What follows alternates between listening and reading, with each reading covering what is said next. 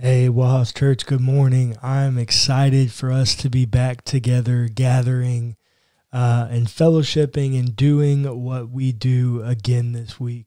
I hope you're enjoying yourself, your time of fellowship and uh, breaking of bread. But why don't you grab a seat and uh, come join me for our time of teaching? I will be honest. I I've thought about this this story all week and it's been a rough one for me. So as you know, we've we've been doing a lot at Wellhouse through our content, uh, our stories, and our podcasts on the kingdom of God. Because I think when I read the New Testament, when I read the Bible in general, the kingdom of God is it's the defining thing in Christianity.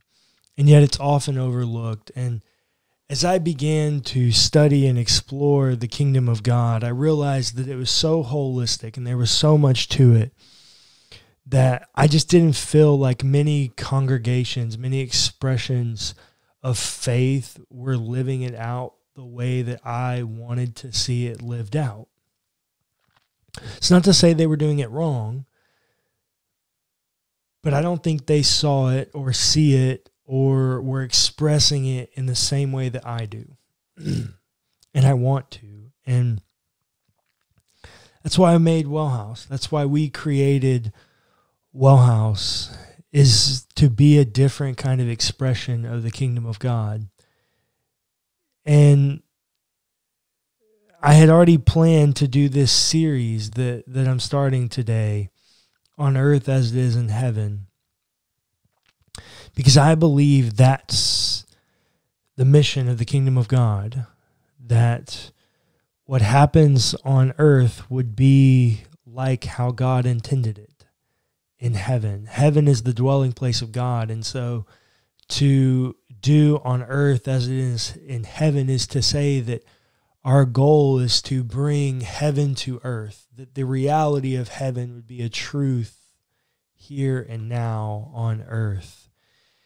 And this week, I was, you know, I've been planning to do this. And this week, what happened at our nation's capital was abysmal, um, appalling. Um, embarrassing. Uh, I have so many negative emotions, and just so you know, I'm filming this Saturday night because I tried to film it a few other times this week and I just couldn't. But I don't understand. And one of our values at Wellhouse is to be real. And I think that extends from me as well. But I don't understand how someone can hold a flag that says Jesus saves and choose violence and hatred and do the things that they did. I I truly I do not understand how someone can do that. I don't understand how someone could be so blatant in taking the Lord's name in vain in that way. Um, I don't understand the racism that was shown and put on display this week by our leaders. I mean, I'm sure you've all seen the comparison photos of when Black Lives Matter was protesting on the lawn and at the Capitol building, and how much police presence and armed guards they had versus when the white people, the Trump supporters, showed up to do it. Um, I don't understand any of it. And for me, when I was growing up, um, some people that were very influential upon me and mentors upon me used to remind me of this verse in Matthew that I'm going to share with you in a few minutes. Um, And I feel like it's fitting for where I'm trying to go with this story series, as well as the conflicting emotions that I have right now, as well as the conflicting emotions that I have about what's happened this week. Um, but in Matthew, beginning in chapter 5, Jesus enters into a teaching that's called the teaching of the Sermon on the Mount. And he gets on the side of a mountain and he begins to teach. And as he's teaching, he goes through a variety of progressions in it, but it's an ethical sermon. It's about how do you live your life in order to live a life pleasing to God. And he comes to this moment at the end of the sermon, at the end of the teaching. And he says, Not everyone who says to me, Lord, Lord, will enter the kingdom of heaven, but only the one who does the will of my Father in heaven. And so he gives us this this weird thing here that he goes, just because you call me Lord, doesn't mean that you're doing it right. It doesn't mean that you're going to um, enter the kingdom of heaven, but only those that do the will of my Father in heaven. And I remember growing up, and I don't know if anybody ever explicitly told me this or if it's just something that I conjured in my head trying to understand what they were saying. But I always thought that meant that if you if you didn't avoid sin at the level that someone else did or if you didn't if you didn't have enough of a fight against sin or you had too much sin in your life that somehow that was going to disqualify you because you weren't doing the will of the Father in heaven. But as I've gotten older, I've realized that in the Sermon on the Mount, the immediate context where Jesus is telling the story, it's as much about the things that we do because we're Christians as much as it is about the things that we shouldn't do because we're Christians. So I got to tell you, as I sit here today, just because you hold a flag that says Jesus saves, that doesn't mean you're going to enter the kingdom of heaven.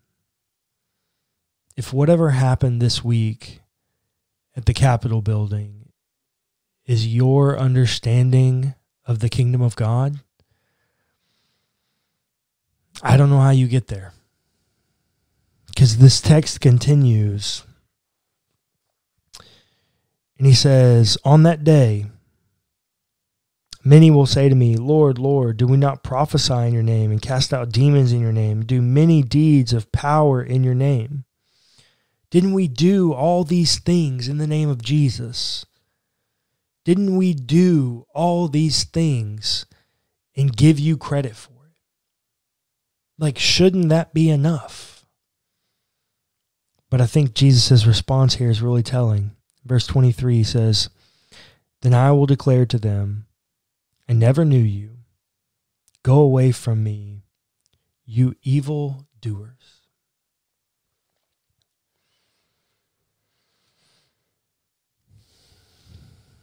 The Christian life is as much about the things we should do as much as the things we shouldn't. In fact, I might even be so bold to say that it's more about the things that we should do versus the things that we shouldn't. Jesus puts it in a caveat that it's their evil doing that's the problem. From my perspective, where I sit, what happened this week in DC happened at the work of evil doers. That's not something I can condone. That's not something that I can be okay with uh, at any facet. I, everything that happened as I've toiled on it and toiled on it and toiled on it, nothing about that situation is God honoring. Everything about that situation is evildoers.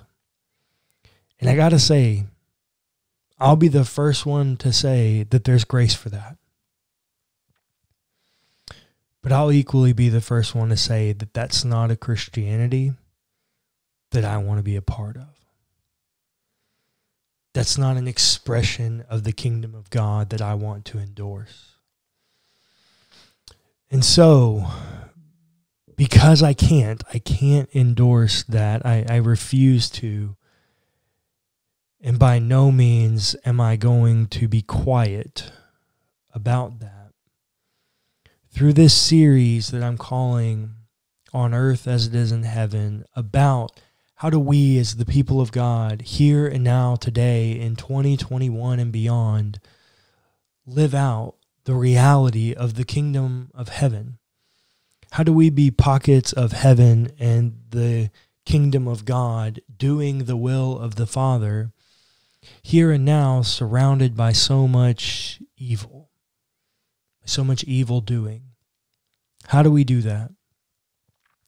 Well, we're going to spend several, several, several weeks tackling this question because I think it's vital. But a lot of what we're going to encounter in the next few weeks is Jesus telling stories. They're parables. Jesus had a lot of, had a, a lot of statements recorded in the Gospel of Matthew where he says, "The kingdom of heaven is like," and he tells this really poetic story.